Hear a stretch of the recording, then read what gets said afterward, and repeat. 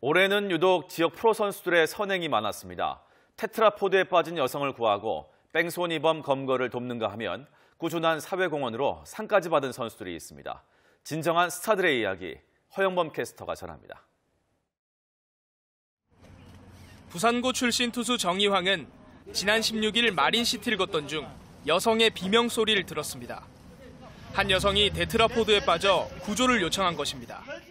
발까지는 거의 담그고 있었고 저 맨 밑에서 이 방파제 같은 거 잡고 살려달라고 하고 있었어요. 정 선수는 119 신고 후 여성이 정신을 잃지 않도록 계속 말을 건네면서 안전한 구조를 도왔습니다.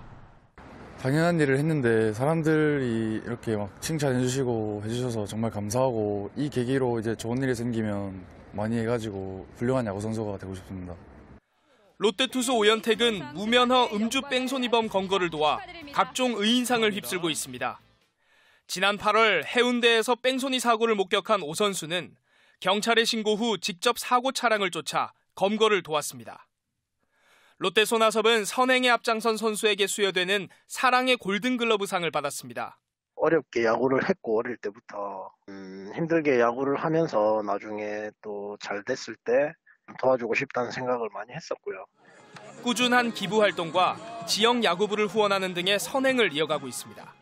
도움이 필요한 곳에 좀 많이 이렇게 도울 수 있고 함께 나눌 수 있다면 또 더 좋은 이런 사회가 될 거라 생각하고 뭐 저부터도 더 노력할 거고 또 많은 분들도 이런 좋은 일들에 많이 동참해 주셨으면 좋겠습니다. 예.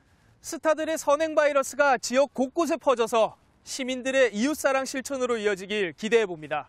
KNN 허형범입니다.